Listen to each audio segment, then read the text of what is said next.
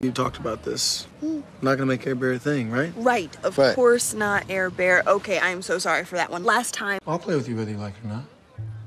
Yeah, no, that didn't ring right. Um, I mean like more of a uh, consensual, respectful, a lot of eye contact, you know what I mean? Or we could go do each other right now, literally. No? No. Air Bear, stop it. Yes. I'm in jail. You are a year older than me. You have lived. Okay, I'm gonna tell you what we're not gonna do, and that's freak out. Because when you freak out, I freak out. Gotta be just the wife. happy wife, happy life. Am I right? I don't think you understood me. Aaron Jackson, Yes. will you divorce me? We made love. Aaron. Zoey, I'm, I'm kidding. Your face was priceless, though. Wait, your dad posted bail in Mexico? Who the f- needed to be bailed out in Mexico? No, Just Aaron and a handful of naughty Mexicans. Air freshener in the bathroom? Woo! It's legit. That's that Seymour splash. That's fire. Yeah, no, it does the job. You can't even tell I was in there. Right, that's such a turn on. Brilliant quote is all Aaron Jackson. You stole this from me.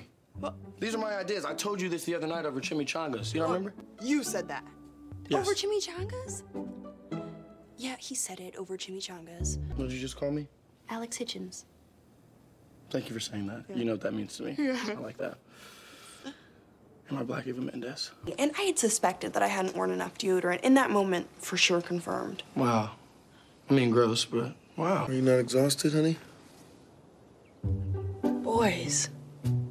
Oh, yeah, I am. Oof, I'm exhausted. I am satisfied. I could give you some lady lit loving. You saw what I did there? You know what? You're right. I do hate alliteration now. You love them. You literally love them. No. I don't have a girlfriend, Zoey. We're actually engaged.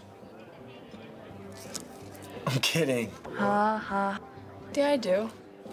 We're starting a family. You serious? Mm-hmm. That's not funny. They're literally helping black students around the world from saving them from microaggressions.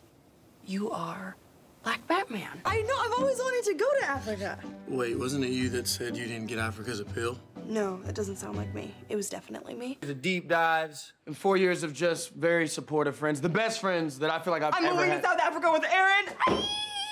That's also true. Although I thought we were going to time it out so that your announcement would conclude my dramatic buildup of my touching it very witty going away speech I was doing, but that's ruined.